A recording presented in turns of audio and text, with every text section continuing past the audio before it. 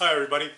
Um, I use all telescoping tops in my beehive and I use the screen vented covers. It just pro it provides more of an airflow here in the hot summers in Florida. And when I go to inspect my hives, when I open the top, I don't know, it's like opening a box of Cracker Jacks. You don't know what you're going to get. Inside that little space between the top and the inner cover, I've found tree frogs, lizards, black widow spiders, and cockroaches. And Florida is got a lot of cockroaches. We've got the German, we've got the American, we've got the Australian, the brown, the smoky brown, and the Florida woods roach.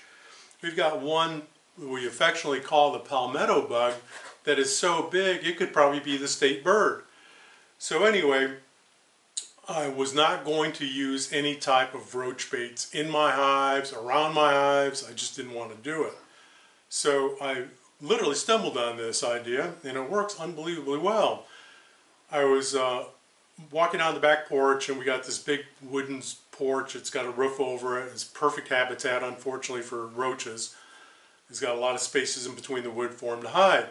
But I had left a some dried dog food out, and I mean, it was just swarming with roaches. So I'm thinking, wow, they really like that for a bait. So I mixed up some that dog food, and I put in some boric acid, coated it all around, put it on a paper plate, and uh, set it on the porch, of course, covered, so the animals couldn't get at it. And I mean, within, it wasn't even a few days, and I just started seeing the population just plummet so they were coming in, they were feeding on the dog food, uh, eating the boric acid, they're getting coated with it, as they're cleaning themselves, they're dying off. So I applied that idea out to my bee yard. And, and what I do is I use a piece of old roofing.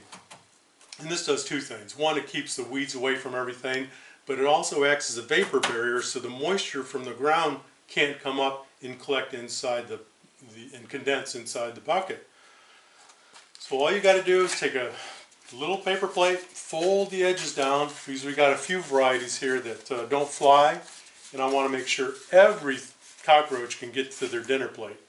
So you got the edges folded down so they can get to it. You've got your, uh, any boric acid works. Get your dog food, pour it right there in the middle of the plate. Make sure it's good and coated.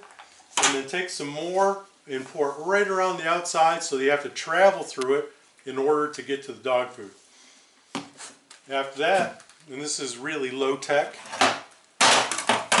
put your cover on, put your patio block on, and that keeps the raccoons, the possums, armadillos, skunks from tipping this thing over and getting at the dog food.